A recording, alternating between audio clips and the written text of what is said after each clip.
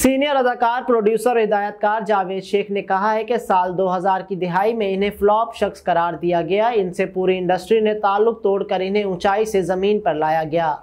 जावेद शेख ने हाल ही में प्रोग्राम में शिरकत की, जहाँ इन्होंने करियर के मुश्किल तरीन वक्त पर खुलकर बात की। इन्होंने कहा कि 2002 में इन्होंने फ़िल्म ये दिल आपका हुआ बनाई तो इंडस्ट्री के निन्यानवे इशारिया नौ फ़ीसद लोगों ने इनकी रिलीज़ से पहले ही फ़िल्म को फ्लॉप करार दिया। इन्होंने बताया कि फ़िल्म की रिलीज़ से एक दिन कबल एक शख्स इनके घर में खड़े होकर इनकी और फ़िल्म की बुराई करने लगा और सबको कहने लगा कि जावेद शेख ने क्या बेकार फ़िल्म बनाई है। इनके मुताबिक ये दिल आपका हुआ से कबल इनकी आखिरी फ़िल्म यस बॉस इंतहाई बुरी तरह फ्लॉप हो चुकी थी, जिसके बाद लोगों ने इन्हें फ्लॉप शख्स कहना शुरू कर दिया था। उनका कहना था कि इनके पास इस वक्त ना पैसे थे और ना फ़िल्में थी और ना ही कोई इनके साथ काम करने को तैयार था।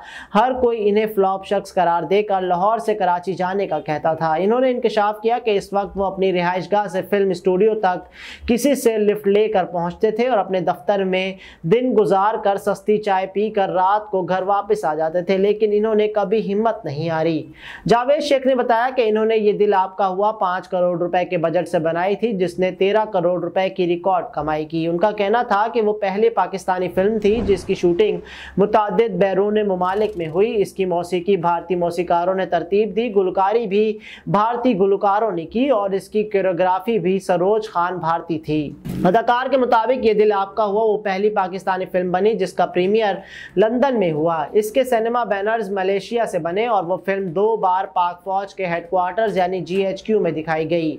जावेद शेख का कहना था, ये दिल आपका हुआ को एक बार जनरल मुशरफ की अहलिया और दूसरी बार खुद परवेज मुशरफ ने जीएचक्यू में चलाया और तमाम जर्नेल्स ने फ़िल्म देखी। इन्होंने बताया कि इस फ़िल्म से कबल इन्हें फ्लॉप शख्स करार देकर इन्हें लाहौर से कराची जाने के ताने दिए जाते थे। इन्हें ऊंचाई से ज़मीन पर लाया गया। डिस्ट्रीब्यूटर्स ने इनसे काम लेना बंद कर दिया था, लेकिन फिर वक्त बदला और सब कुछ इनके हक में हुआ।